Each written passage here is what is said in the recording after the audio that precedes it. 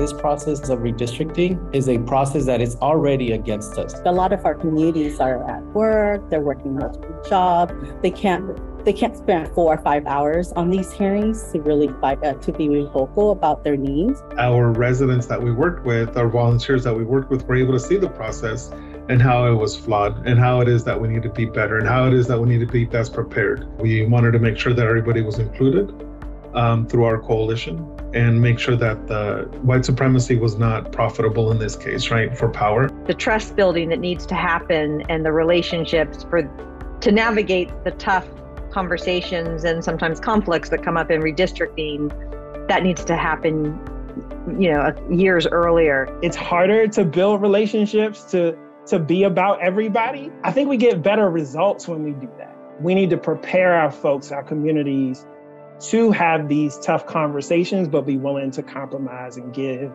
and uh, and meet people kind of where they are.